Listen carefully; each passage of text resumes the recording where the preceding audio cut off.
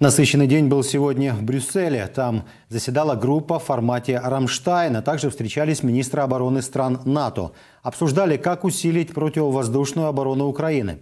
Глава оборонного ведомства Нидерландов Кайса Оллангрен сообщила, для защиты украинского неба ее страна передаст Украине зенитные ракеты стоимостью 15 миллионов евро.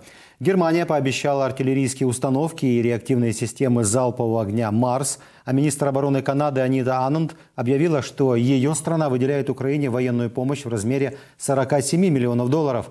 Какие еще заявления звучали сегодня в Брюсселе, смотрите в сюжете. Перед началом встречи в формате Рамштайна и министра обороны стран НАТО генсек Альянса Йенс Столтенберг заявил, после очередной атаки России на мирных жителей и инфраструктуру Украины главным приоритетом стран НАТО станет усилие противовоздушной обороны Украины. Я приветствую то, что союзники по НАТО предоставляют системы противовоздушной обороны Украине. Это экстремально важно. Я думаю, мы все понимаем, почему это важно для Украины. Ужасные беспорядочные атаки на украинские города, убийства мирных жителей, разрушение важной инфраструктуры и не в последнюю очередь атаки на энергетические системы. Все это демонстрирует срочную важность еще большего количества противовоздушной обороны для Украины. for Ukraine. На повестке дня в НАТО также стоит вопрос о том, как восполнить запасы вооружения в странах Альянса, поскольку в результате оказания военной помощи Украине они сократились. Несмотря на это, Йенс Столтенберг уверен, что Альянс и дальше будет поддерживать Украину. Сигнал от НАТО. Мы непоколебимы в нашей поддержке Украины. Мы готовы к долгому пути, и мы будем поддерживать их так долго, как это потребуется. Прибыл в Брюссель на заседание в формате «Рамштайн» Рамштайн и встречу министров обороны стран НАТО и глава Пентагона Ллойд Остин. Перед встречей в формате «Рамштайн» министр обороны Украины Алексей Резников встретился с главой Пентагона Ллойдом Остином. На вопрос от журналистов, чего ждет Украина от НАТО, министр обороны ответил так.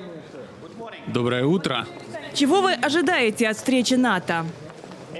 Системы противовоздушной обороны, Открывая заседание в формате «Рамштайн», министр обороны США Ллойд Остин заявил, что украинские войска при поддержке западного вооружения изменили динамику войны, а нападение России только усиливает решимость союзников помогать Украине. Весь мир только что снова увидел жестокость войны, которую выбрал Путин, которая базируется на агрессии и ведется с полным нарушением правил. Последние российские обстрелы украинских городов, в результате которых снова убиты и ранены мирные люди, только усилили решительность украинцев и объединили страны. Эта контактная группа также решительна и едина. Мы продолжаем наращивать оборонительную способность Украины сейчас и в длительном длительной перспективе. Министр обороны Германии Кристин Ламбрах сообщила, что ее страна уже отправила в Украину первую установку ПВО «Айрис-Т». И это не последняя поставка систем противовоздушной обороны. Германия отправила систему противовоздушной обороны Украине, и ее прибытие – это очень важная поддержка Украине в ее борьбе с террором и ракетными обстрелами. Это одна система, а в следующем году мы отправим еще три такие же. Это не все новости из Брюсселя сегодня. Европейский совет решил не признавать российские паспорта на оккупированных территориях Украины. В Европе не будут принимать эти документы для получения виз или пересечения границ шенгенской зоны зоны.